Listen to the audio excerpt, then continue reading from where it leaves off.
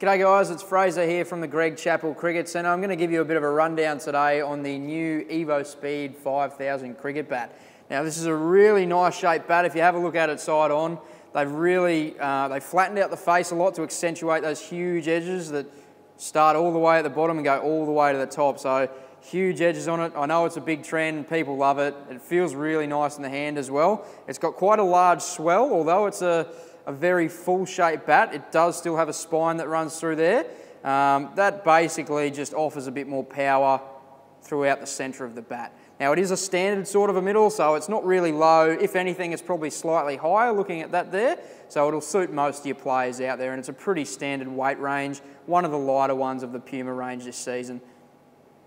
For the features, We've got the, the nice different style grip that you see on that. Puma usually are, are quite good at that. They do a different style every season. It's got um, a couple of different styles on there to separate the hand. It's got the tapered toe at the bottom. As we said earlier, very flat, square face to accentuate those edges as well. Now this one in particular, it's a 5000 model. So it's a grade one timber.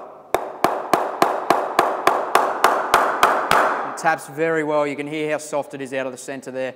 So this is the evoSPEED range and the new range from Puma. So running from the features top to bottom, we've got a, a lovely 12-piece handle covered in one of Puma's fancy octopus matrix style grips, which feels really nice in the hand. Um, we've got the jazzy stickers, which they're all, always so good at. They come up very, very well on the bats.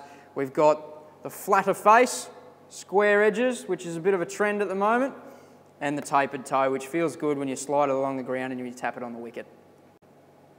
On another note with this bat, the handle is slightly rounder than what it is normally.